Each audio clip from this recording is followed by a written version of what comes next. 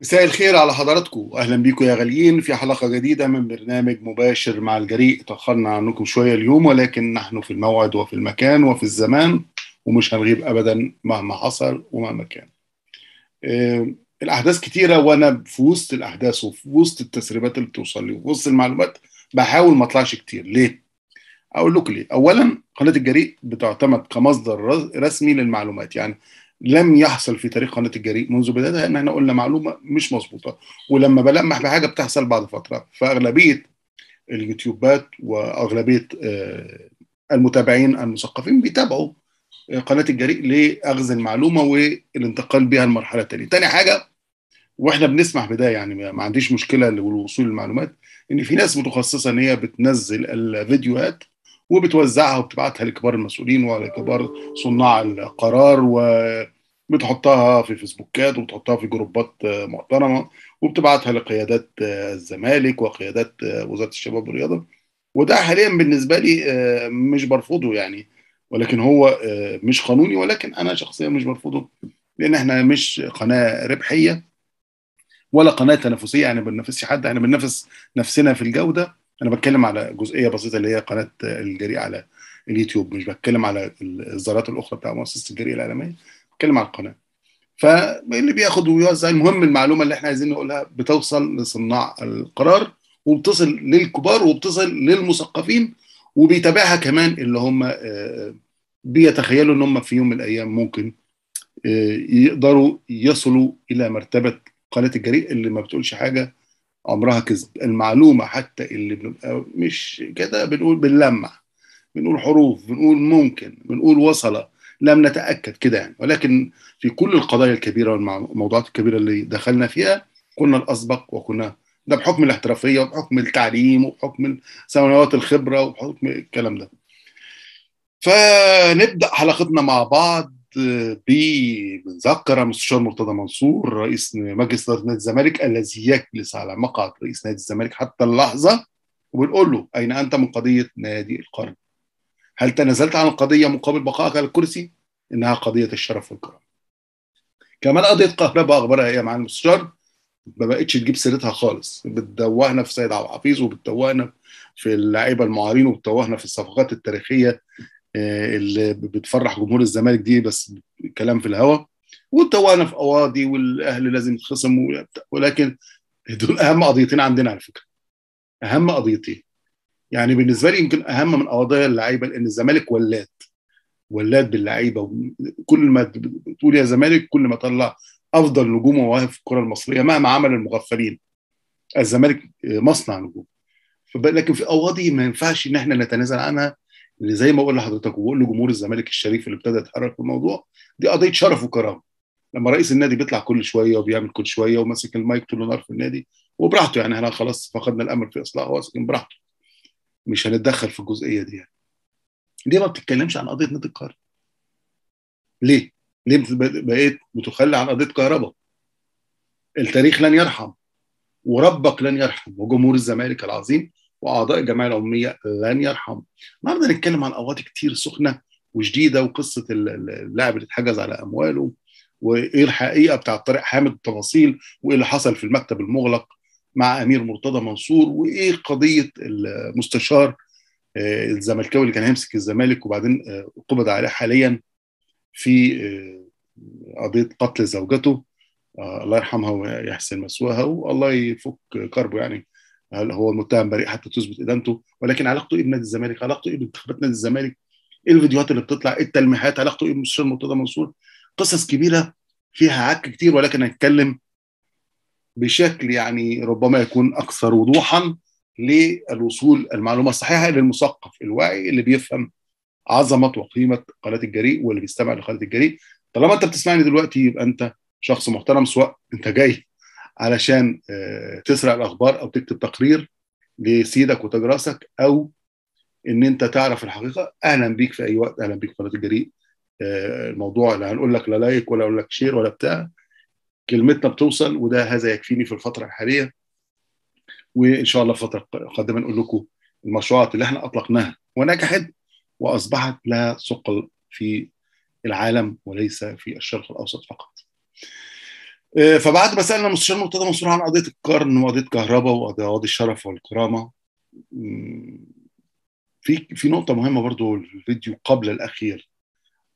هو حط فيديو إن هو بيمضي على استمارة تمرد وبيكتب عليها موعدنا 30 يونيو. أنا بصراحة ما كنتش موجود في مصر في الفترة دي ولكن طبعا بحكم الشغل الإعلامي في تواصل مع صحف ومواقع وفي شغل كبير يعني.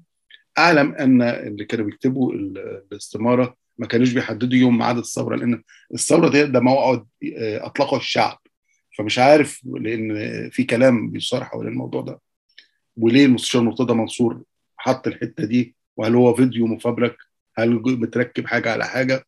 وليه؟ هل هو بيذل الدولة إن هو في ملايين المصريين عملوا استمارة التمرد؟ كل واحد يطلع ويقول بتمنى منه أو من الناس اللي تفهم هل والأخوة المحترمين اللي كانوا بيلموا استماره التمرد كانوا بي بيقولوا للناس وانت بتمضي إن في ثورة يوم 30 يونيو الموضوع محتاج برضه عشان إيه الكلام في السياسة مش محتاج لازم نكون فاهمين. أنا ما كنتش موجود عشان كده مش فاهم. اللي كانوا بيمضوا على الاستماره كانوا عارفين إن في ثورة في مصر يوم 30 يونيو لأن المستشار مرتضى كتب موعدنا مع الثورة يمكن ولا هو الميعاد ده اللي اختاره مرتضى منصور وهو مفجر الثورة ولو هو مفجر الثورة فليجلس على مقعد رئيس الجمهورية الآن بدلا من السيسي. إن إحنا عارفين إن الرئيس السيسي هو يعني كل حاجة بالنسبة لنا وكل حاجة للثورة. ويعني في حاجات لازم تتفهم وإحنا بن... أسئلتنا بكل وضوح وبكل شفافية وما فيهاش أي توجه وما فيهاش قلة أدب ولا أمك ولا رعاد عنه إحنا اللي بيقول الكلام ده هو عارف نفسه وحسابه عند الله. إحنا كلامنا محترم ومؤدب وأسئلة مشروعة. على فكرة كمان أنا أنا الجزء اللي اتكلم فيه دلوقتي بوجهه مع كل المحبة والاحترام والتقدير للمستشار مرتضى منصور برافو عليك. ليه بقى برافو عليك؟ عشان دايما إحنا في الصح بنقول الصح في الغلط بنقول الغلط. بس هنا أنا شايفه صح الصح و10 على 10 عظيم سلام. ويعني أنت فعلا ابتديت تحط رجلك على الطريق الصحيح إيه الموضوع اللي هنقول له شكرا فيه. في واحد كانوا طلعوه زمان كده قالوا له تعالى نطلعك يوتيوبر علشان إيه؟ تنقل الكلام بتاع قناة الجريء كلمتكم عليه كذا مرة وكلكم عارفين وتقلد الكلام وتقول ثاني يوم الصبح يبتدي الناس تخف من عند قناة الجريء وتطلع عندك. وتلم عليه شوية ستات فاضية واليومين دول اتلم عليه الناس المطاريد بتوع قناة الجريء اللي إحنا طردناهم بيسرق خبر من هنا بيسرق خبر من هنا. وكمان دخلوه في موضوع اللجان عشان يعملوا له أمير يحطوا له الفلوس في موضوع المشاهدات الوهمية عشان بدل ما كان بيشوفوا مثلا 1000 يشوفوا 12 و14 يا أنا بتمنى الخير يا رب يكون الفلوس اللي بتجيلك من الطريق ده داخلة بكل الخير عليك. ولكن في وقت من الأوقات حصل يعني قبل كده كان في كان ممكن نقفلوا القناة بسبب شيء معين وتدخل ناس وقالوا ده غلبان وعنده ظروف خاصة جدا مش هقول عليها يعني وسيبنا الموضوع ونسيت خالص لحد ما ضحكت عليه شوية ستات وقالوا له إيه اطلع اشتم وهاجم قناه الجريء كده هترضي سيدك وممكن يطلعك في قناة الزمالك أو ممكن يزودوا لك الفلوس. ما أعرفش هم دايما كده إيه بيروحوا للناس يقولوا له بس هاجم قناة الجريء وسيدك وتاج راسك فلان الفلاني هيظبطك يعني. فطلع هاجم. أنا ما سمعتش الفيديو الأستاذة تريز لها كل المحبة والتقدير هي قالت لي بالصدفة كده وهي ماشية في الفيسبوك لقيت واحد بيقول كذا كذا قلت لها ما تبعتوليش. ما بحبش أسمع هذه القذرات لكن أنا طبعا لمحت في أحد الفيديوهات ثم اتصلت بي زوجته الأهلاوية المحترمة. جدا جدا جدا. واتفقت معايا قالت ظروفه الخاصة والنفسية والصحية لا تسمح إن ندخل في مبادرات وبتعتزل وأنا كلامها على دماغي وأنا مستمر. يعني أنا مستمر لأن أنا لو اتكلمت مش هخليه يطلع تاني. وأنا ساكت. ولكن الحقيقة بقى إن هنا بنشكر المستشار مرتضى منصور اللي هزقه في الفيديو الأخير بتاع مجدي عبد الغني. هزقه ومرمط بكرامته الأرض. هو وشوية العيال حسب رأي المستشار مرتضى هو اللي قال مش اللي بيضربوا الأخبار. لكن هزقه هو بالذات على قصة تأليفه. يمكن لسه الفيديو بتاعه موجود ولا تلاقي العنوان موجود وقال لك بن شرقي في الزمالك بنسبة 90% ومرتضى قالها. وقال له يعني زي أنا قرفان منك بطلوا قرف بقى بطلوا. أنا لو منه أنا أقسم بالله أقسم بالله يعني ما اطلعش تاني ما ظهرش تاني بعد الكلام اللي قاله. هو بيحاول يراضي مرتضى منصور بيحاول يراضي أمير وبيحاول يراضي خالد وبيحاول يراضي صافي وبيحاول يراضي مش أسياده يعني. وميكي ماوس شوشو هنسميه شوشو عشان ما أقولش اسمه.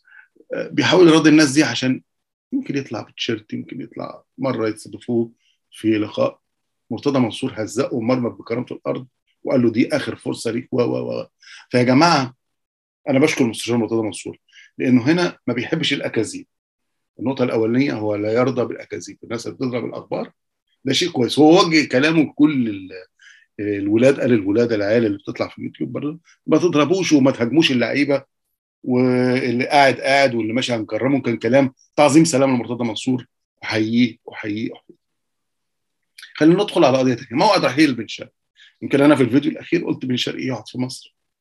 يقعد يسافر بره يروح قطر يروح بتاع. ده هو حر طالما هو ارتضى إنه يسيب نادي الزمالك.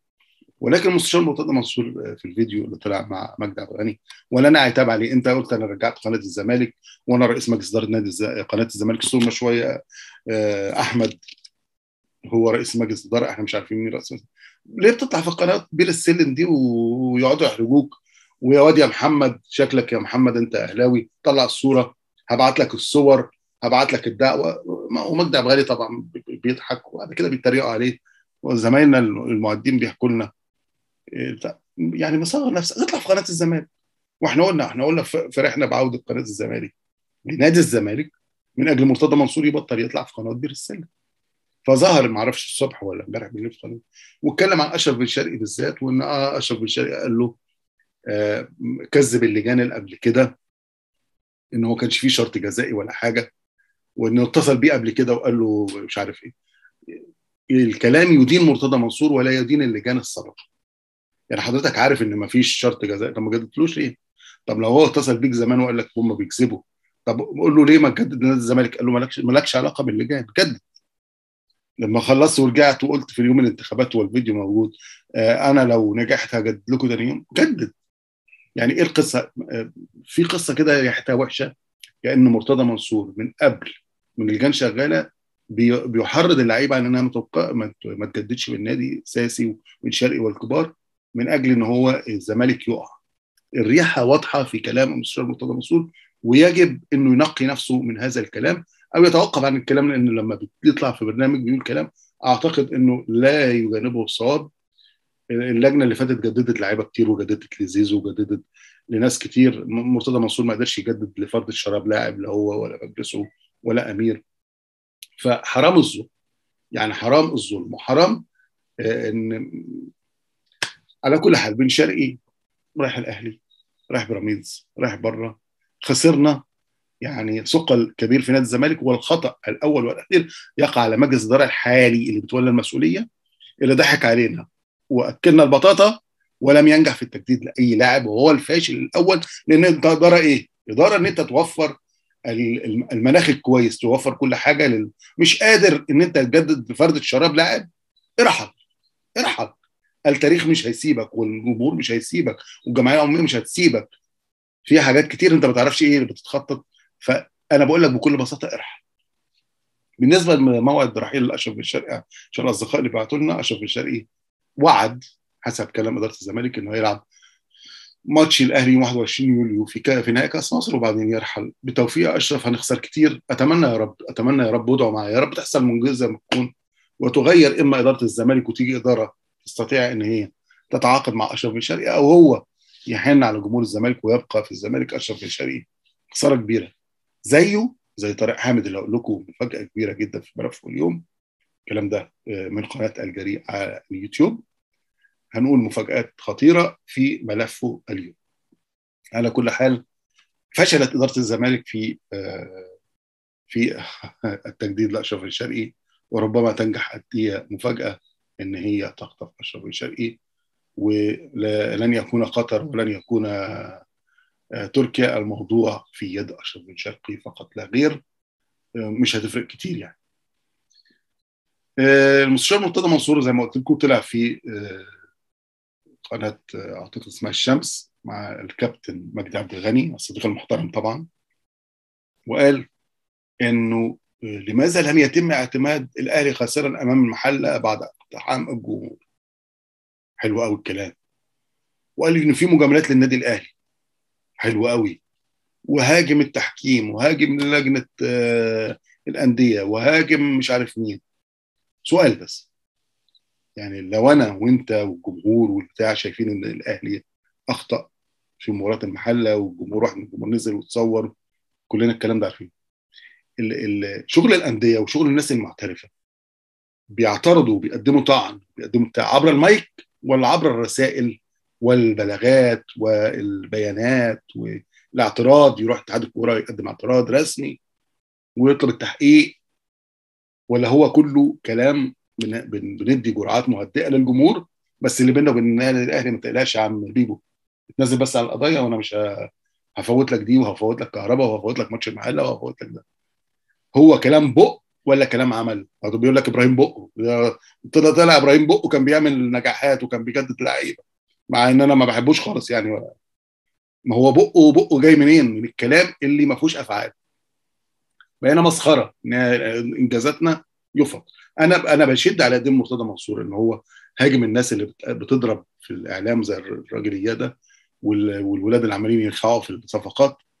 بشد على إيده. بشد على إيده إن هو بيطالب بحقنا باعتماد الاهلي خاسرا بس الكلام ده بق ولا تنفيذ؟ هو هذا هو السؤال. نتمنى أن يكون تنفيذ والمستشار مرتضى منصور يحط في صفحته اللي بقت المصدر الرسمي لاخبار نادي الزمالك أو يطلع في يعني يدي يبعت لأي برنامج الوثائق التي تثبت أن نادي الزمالك قدم اعتراض بالفعل على مباراة الأهلي وليس كلاما في الهواء. قدم اعتراض رسمي بان يجب احتساب نتيجة المباراة الخسارة بالاتفاق طبعا مع نادي غزل المحلة اللي إدارته قوية ورائعة ومحترمة وبتتخذ خطوات فعالية للحفاظ على حقوق النادي في الوقت ان إحنا بنقضيها كلام ابن عم عبد السلام. مرتضى منصور كمان اتكلم عن قضية المعارين كلام جميل وكلام معقول ما أقدرش أقول حاجة عنه تعظيم سلام يا معالي المستشار وقال لك كل المعارين راجعين. بس هل حقيقي ده كلام؟ ولا آه تهدئة ولا صفقات. إحنا منتظرين. أنت اللي قاعد في الإدارة وأنت اللي هتتحاسب. إحنا منتظرين. فأتمنى يا رب شد على ايديه ونقف جنبك ونساندك ونرفعك فوق أكبر منصة ونقول لك يا سلام يا سلام جبت حق الزمالك وهو ده الكلام. بس الكلام إن أنت لما تجيب الحق تاخد تعظيم سلام. مش هو هنقضيها كلام في كلام. كل المعارين هيرجعوا يا ريت يا ريت يا ريت مش عايزين منك صفقات أهو بقولها لك بالبلدي. رجع لنا المعارين. والله هتبقى راجل وسيد الرجالة وتبقى رئيس تاريخ النادي الزمالك. أما إذا كان كلام ابن عبد السلام فأرجوك يعني شوية احترام شوية احترام. الجمهور مش هيهدى ولا هينام يا معالي المستشار. كمان قال في مداخلته إن لجنة المسابقات ومش عارف إيه واتكلم على طرد سيد عبد الحفيظ واتطرد ثلاث مرات في شهرين. كلام جميل وكلام معقول حلو قوي. ولكن هل قدمت اعتراض؟ هو ده السؤال. اتكلم أه عن عمر كمال عبد الواحد لاعب فيوتشر. أه ومهند الهشيم لاعب طلائع الجيش وانهم هيضربوا الزمالك في الموسم المقبل. وأنا من هنا بأكد إن كلام مستر مرتضى منصور استهلاك. لأن اللاعبان موجودان مستمران في أنديتهم ولن يستطيع المستشار مرتضى منصور. الوقوف أمام طلائع الجيش اللي بتسانده مؤسسة الجيش بتاعت الدولة مش هيستطيع ده. طلائع الجيش لو عايز قلب الزمالك ياخده هياخده. وأنت هتبارك وهتوافق. ما تقدرش تتكلم. طلائع الجيش وراءه الجيش جيش البلد. وبالأمر أما يكون لاعب عنده هترجعه ما يعني بصراحة مش هتقدر. أنا بقول أهو أنت بتقول هيرجع وأنا بقول 100% مش هيرجع. كمان عمر كمال عبد الواحد. مش هتقدر على فيوتشر ولمحت الفيفا ولمحت الفيفا ولمحت الفيفا والله ما هتقدر. وكله كلام. أقسم بالله العظيم كله كلام. قال كمان إن الزمالك أبرم ثمان صفقات. وإحنا لغاية النهارده بنقول بس قولوا لنا رباط جزمه لاعب إن أنتوا وقعتوه. ما كل اليوتيوبر والناس اللي بتوع اللايفات والناس اللي أنتم مقبضينهم ومدينهم على بالكفته والتيشيرتات. بيقولوا كل الكلام ده كل يوم. ومفيش حاجة بتتحقق. ما إحنا عايزين نفرح يا جماعة. إحنا عايزين نفرح نسمع ان زي ما بتعلنوا اللي في لعيبة ماشية وفي لعيبة حتى لو وقعوا ببلاش من وبتخربوا في الفرقة. فرحونا إن أنتوا جبتوا فردة شراب لاعب أو رباط لاعب. بالنسبة لطارق حامد حسبنا الله ونعم الوكيل في اللي بيظلم وإحنا بنقف ورا طارق حامد وأي لاعب طالما في كذب. وإحنا ما بنقولش المعلومة زي ما كنت في حوار مع أحد الإعلاميين الكبار. ما بنقولش المعلومة غير ما نكون متأكدين. طارق حامد مظلوم. وطارق حامد محتاج علاج. وطارق حامد راجل. وطارق حامد نفسه يبقى في الزمالك. لكن اللي اتعمل معاه بصراحة عيب جدا. أه هقول لكم في آخر الفيديو على فكرة طارق حامد رايح فين. هقول لكم مقال كتبه الأستاذ حسن شحاتة بيقول فيه. توضيح مهم. معلش مش دفاع عن حد أو تبرير أو شيء لكن علشان كل واحد ياخد حقه. طارق غلطان. أيوه غلطان. إنما لازم الأمور توضح وهو كمان يطلع يوضح. لأن اللي بيحصل ده أهواء شخصية ومواقف شخصية تجاه اللاعب. مش موكل للدفاع عن طارق لكن اللي حصل لا يقبل من أي حد تجاه لعيب بحجم طارق حامد في وجود زيزو والونش. أثناء الكلام عن تعديد العقود إنهم لازم يشيلوا الشرط الجزائي. الحوار والقصة كانت الاتي والكلام طبعا للأستاذ حسن شحاتة اللي يعني الكلام مش بتاعي كلام الأستاذ حسن شحاتة اللي شاهد عيان على الواقع. بيقول لك الحوار والقصة كالآتي. أثناء الحديث تحدث أمير مرتضى بطريقة مش كويسة مع اللعيبه وفيها نوع من العنجهية والاستفزاز. وبعدها تحدث زيزو وقال له لا أنا معايا عقد مش هيتغير. وقال له لا دي السياسة الجديدة واللي هتمشي وهتطبق على جميع هنا. ده كلام زيزو. زيزو حتى حدث معه قال له لا ده مش هينفع. قال له خلاص اطلع اتكلم وعرف الجمهور انك أمير اللي قال له يعني. أمير قال له اطلع اتكلم وعرف الجمهور انك رافض. قال له لا اطلع انت وقول ان أنا مش في احتياج اللاعب وأنا همشي. دخل طارق وكان أمير في مكتبه وكان جالس بطريقة مستفزة وتحدث مع طارق بطريقة غير لائقة. وكانت الأمور هتتطور للتشابه وخرجت الألفاظ منهم لولا تدخل الونش وزيزو. بعدها خرج اللاعبين من المكتب على التمرين وأمير ذهب لرئيس النادي وقال له بالنص طارق حامد ما يقعدش في النادي تاني. كلام بقى الراجل كاتب المقال الأستاذ حسن شحاتة بيقول أنا أتمنى طارق يطلع بنفسه يحكي الحوار والقصة دي لأن الجمهور من حقه معرفة الحقيقة للمرة الأخيرة. ليس دفاع وإنما ولا أنا محامي ولكن الزمالك كبير. والكلام ده طبعا بي بيقترب من الكلام اللي إحنا وضحناه أكتر من مرة إن أمير بيحارب النجوم وأمير مش عايز نجوم في الفريق وبيتعامل معاهم بعنجهية. وهو امير سبب تطفيش أغلى اللعيبه اللعيب وبالدليل الراجل اللي حدث الواقعة والكلام طبعا لزيزو وللونش أيضا في هذا الملف بيؤكد هذا وطارق حامد لديه الكثير اللي هيحكي بعد خروجه من نادي الزمالك. واللي يثبت مين اللي بيطفش اللعيبة من نادي الزمالك وصالح مين؟ هل لصالح الصفقة مع بيبو عشان تنزل على القضية هيبان في الأيام الجايه وهيتضح كل حاجة. هل لصالح إيه؟ لصالح تخريب نادي الزمالك؟ أنا شايف إن أي حد بيشتغل في نادي الزمالك هو بيشتغل عند نادي الزمالك مش بعنجهية وبتاع. ثانيا أمير ما لعبش كورة وفشل في قطاعات الناشئين وفشل اداريا ولما طلع حتى لما طلع مع حتحوت قريب مش فاكر أسماء اللعيبة بينطق اسم اللعيبة غلط يقول له محمد ولا محمود مش عارف أسماء لعيبة الزمالك. والفترة الثانية الأمير مش مظبوطة أنا كنت بحب أمير وكنت عايزه يبقى رئيس النادي والشباب وندعمه وقصة ولكن راجع مش مظبوط وطالما راجع مش مظبوط مش هسانده لأن أنا الراجل عندي ضمير لا هو لا قدر إنه يشغلني في اللجان ولا قدر إن هو يشتريني لأن أنا عارف إن إيدي نظيفة ولساني نظيف ولكن بتخرب في الزمالك ليه يا أمير؟ ليه؟ بتعامل اللعيبه بعنجهية ليه؟ دي مواهب حضرتك ربنا ما ادالكش موهبة في حتة الكورة احترم بقى موهبة الآخرين.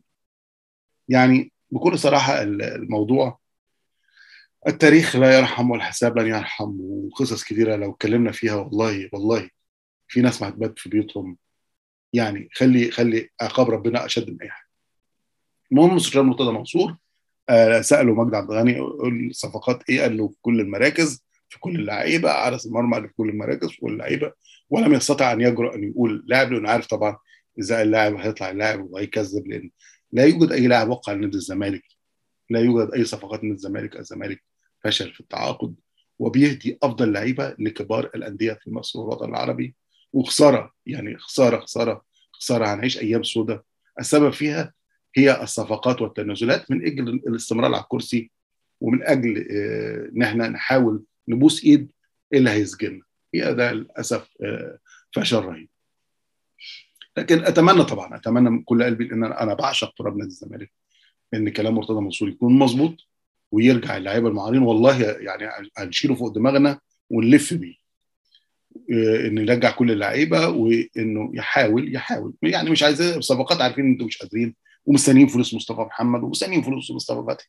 وحذرنا من زمان قلت لكم لا أول يوليو ولا آخر يونيو هتيجي الفلوس وطلع طبعا بعض اليوتيوبر الأبيضة مع إن فيهم ناس محترمين وصحفيين وإعلاميين بيشتغلوا في دول عربيه ولكن طبعا عشان يرادوا أمير ويرادوا مرتضى والوعود ببرنامج قناة الزمالك للأسف أو يكتب مقال في مجلة الزمالك للأسف طلع يكذب على الناس والفلوس راجعة خدوها مني قرار نهائي الفلوس راجعة يوم 30 ورفع الإيقاف مع إن إحنا عارفين إن الزمالك الإيقاف طبعا اترفع عليه ولكن إحنا معرضين لإيقاف ثالث طبعا هو ما يقدرش يقول كده ما يقدرش يطلع يعمل حلقة.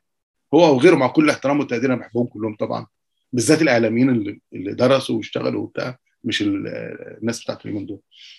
بس اطلع قول الحقيقة لوجه الله سيبك من تشتغل في الزمالك ولا أمير هيرضى عنك ولا يطلع رئيس النادي يقول لك أنا زعلان منك في حتة إلا نص. سيبك راعي ربنا راعي ربنا أهم من أي شيء. اطلع قول الزمالك معرض للإيقاف اطلع قول جدع سراي معروف عنه عالميا إن هو بي يعني إن هو بيذل الناس على الفلوس. وعندهم طريقة والآخر إدارة الزمالك هتبوس إيديهم إن تقسط الفلوس. إحنا يعني تجاربنا زي إدارة الزمالك مستنية الفلوس ده والفلوس ده عشان تقدر تعمل صفقات ومش مش هتقدر تعمل أي حاجة. على كل حال نتمنى كل اللي قاله كل اللي قاله مرتضى مرتضى منصور مرتضى منصور جد ومش كلام ومش بق وخلاص. طبعا ناس كتير طلعت في الجوانب الأخرى كذبت الكلام ده واللاعبين مستمرين مع الفريق الموسم الثاني ولا إحنا في حل من هذا الموضوع. كمان مستشار مرتضى منصور بهاجم سيد عبد الحفيظ بشدة مش عارف هو بيحب يفتح جبهات. ويعني أنا مش يعني أنا أقول إيه؟ قدم اعتراض لجنة مسابقات للمحكمة الرياضية. يعني اعمل حاجة فيها واقع مش كلام. يعني هم حتى دلوقتي في اداره النادي يقول لك يرد عليه إيه؟ ما تردوش عليه. هيتسجن هيتسجن. ما تمشوش كلام. آه ما ما حدش يطلع يرد عليه في أي قنوات الأهلي ولا بتاع ده. أصل هو بيبتدي بالكلام وينتهي بالكلام. شكلها وحش. آه بالنسبة للناس اللي بتسأل على فريق الكورة عشان نطمنكم على فريق الكورة ما ناخدش الكلام في القضايا. بان فريق الكورة جاهز لمباراة المقاولون العرب في الدوري الممتاز. الكابتن محمود علاء نجم الفريق إن شاء الله هيشارك في هذه المباراة. وهو خاض التدريبات التأهيلية. آه وشفي تماما إن شاء الله يلحق في ماتش المقاولين بإذن الله. فيريرا عمل برنامج لكل اللعيبة. الزمالك عنده الماتش المهم بتاع المقاولين يوم 12 يوليو الجاري في الجوله الرابعة عشر لمسابقه الدوري الممتاز. إن شاء الله الفوز يؤكد استمرار الزمالك وزحفه نحو القمة. وأنا قلقان من هذه المباراة جدا جدا جدا. لأن الأهلي اتهزم الماتش اللي فات. وأنا عارفين إن التحكيم بيحاول يوازن المواضيع أو لجنة المسابقات. ربنا يستر. ويعدي الأيام على خير. وإن اتحاد الكوره كمان في غليان وبيحبوا إيه يشغلوا الناس في قواضي الأهلي والزمالك بعيدا عن الكوارث اللي بيعملوها. وأكبر كارثة عاملينها طبعا التعاقد مع مارك كارتلبرج ده مسؤول ملف تطوير الحكام اتعاقدوا مع واحد. هو متعاقد حاليا مع الاتحاد اليوناني. يعني شغال في حتة ومضى معاهم. متعاقد مع الاتحاد اليوناني حاليا. إزاي أنت توقع مع عقده ساري حتى الآن؟ كمان هو عامل عقد ل... يكون محلل في كأس العالم القادمة في قطر محلل تحكيمي في كأس العالم القادمة. ده يعني عامل ثلاث عقود وضرب عقد مصر في النص. راجعوا القرارات. طبعا في السعودية مشي في فضيحه وهذا الثانية مفضيحه وسالوا الاتحاد اليوناني عنه. وشوفوا حكايته هتشتغل معانا ولا هيشتغل في قطر. شوف المواضيع إيه ربنا يستر على اللي جاي.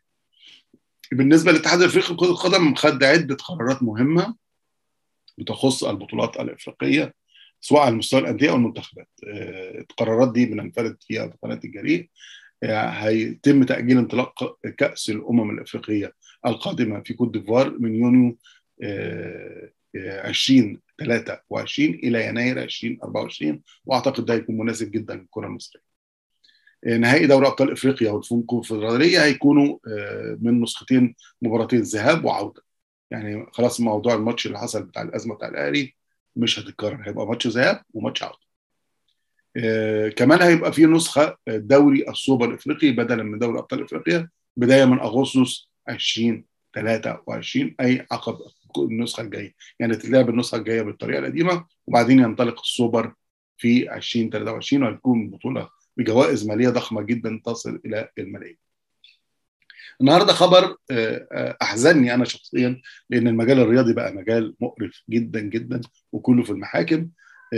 قيام إدارة النادي الأهلي بالحجز على ممتلكات وارصده النجم الكبير واللاعب الدولي المحترم عبد الله السعيد حيث حجزت البنوك اليوم على أرصدة وحسابات ودائع عبد الله السعيد نجم فريق بيراميدز وذلك نفاذا للحكم النهائي الصادر في الدعوة التحكيمية رقم 16 لسنة 2022 مركز التسويق والتحكيم الرياضي وفاء لمبلغ 2 مليون دولار أمريكي بالإضافة إلى المصروفات ورسوم التنفيذ. إدارة النادي الأهلي بقيادة كلافة المستشار محمد عثمان باتخاذ إجراءات قانونية ضد اللاعب اللي تحايل على تعاقده مع أهلي المصري وأهلي جدة وقام بفسخ التعاقد مع النادي السعودي و و و و وتقريبا هو كان مستند على الأخ الممول السعودي ما بحبش أقول اسمه من ساعة ما دخل الرياضة المصرية والفن المصري خربهم فمش عايز أقول اسمه مع كل الاحترام والتقدير لأهلنا في المملكة العربية السعودية. الغريب إن الناس بتربط حاليا بين عبد الله السعيد وإنه يجي الزمالك إن عبد الله السعيد مخلص يا جماعة. الزمالك اللي فضل عبد الله السعيد كلام أكاذيب وكلام تهريج يعني حسبنا الله ونعم الوكيل في الناس اللي بتضرب أخبار عمال على بطل. معايا حاجات كتير والله عايز أتكلم فيها ولكن مش عايز أطول على حضراتكم ولكن إن شاء الله كل الخير لنادي الزمالك العظيم. إن شاء الله نكون معاكم بعد يوم أو اثنين بالكثير من الملفات. هنأجل بعض الملفات الآن لأن هناك مفاجآت في شهر يوليو. قولوا يا رب وهتنضف تنضف أشكركم وأراكم على خير.